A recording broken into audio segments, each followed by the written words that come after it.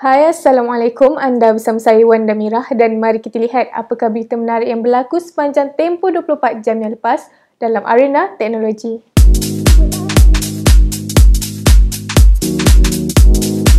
Di acara CES 2020 semalam, MSI telah memperkenalkan komputer gaming baru yang dinamakan MSI MEG Aegis T15.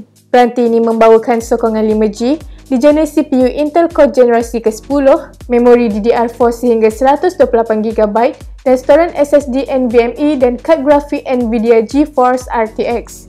Setakat ini, tarikh penawaran peranti untuk pasaran global masih belum diketahui. Selain itu, MSI turut memperkenalkan model komputer riba gaming terbaru iaitu MSI GE66 Raider. Ia hadir dengan paparan skrin bersaiz 15 inci dengan kadar segar semula 300Hz dikuasakan CPU Intel i9 generasi ke-10 dan menggunakan kad grafik berkuasa dari Nvidia. Peranti ini dijangka akan dijual pada sekitar suku ketiga tahun ini.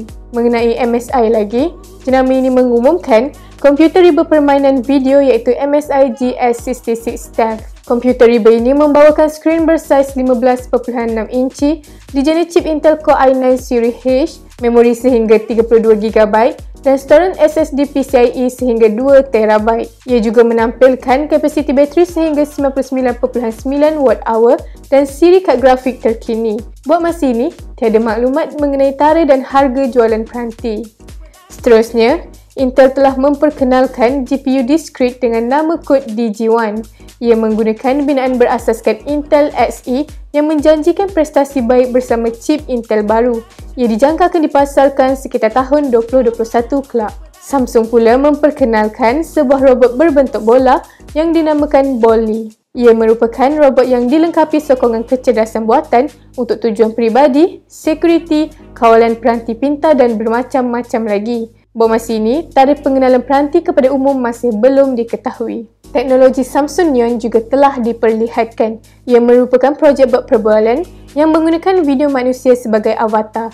Ia dijangka akan dilancarkan pada penghujung tahun 2020 kelak. Bukan itu sahaja, Samsung telah melancarkan Samsung Galaxy Chromebook. Peranti ini dilengkapi skrin 13.3 inci yang boleh diputar 360 darjah, dijadikan sebagai tablet serta membawakan sokongan stylus terbina pada peranti. Menurut Samsung, ia akan mula dijual pada suku pertama tahun 2020. Pada acara CES malam juga, Hyundai memperlihatkan rekaan kereta terbang yang dinamakan Hyundai SA1 yang bakal digunakan oleh Uber. Rekaan yang dipertontonkan dilengkapi 8 pasang kipas untuk penerbangan menegak dan 4 pasang kipas 5 bilah untuk penerbangan mendarat. Ia dilihat menggunakan kuasa elektrik sepenuhnya dengan kelajuan maksimum 290 km per jam pada ketinggian 600 meter. Kereta terbang ini dijangka beroperasi seawal 2023 dari hub penerbangan Uber. Tidak ketinggalan, Sony juga turut memperkenalkan konsep kereta elektrik yang dikenali sebagai Sony Vision S.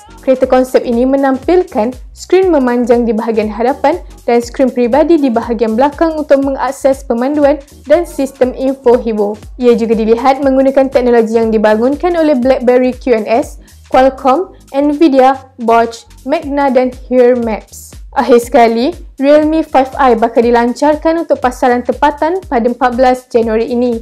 Peranti ini dikuasakan chip Snapdragon 665 menggunakan empat kamera belakang serta bateri sebesar 5000 mAh. Setakat ini, harga jualan masih tidak dinyatakan. Jadi, itu sahaja rangkuman ringkas yang berlaku sepanjang tempoh 24 jam lepas dalam arena teknologi. Kita jumpa lagi esok untuk Amas 24.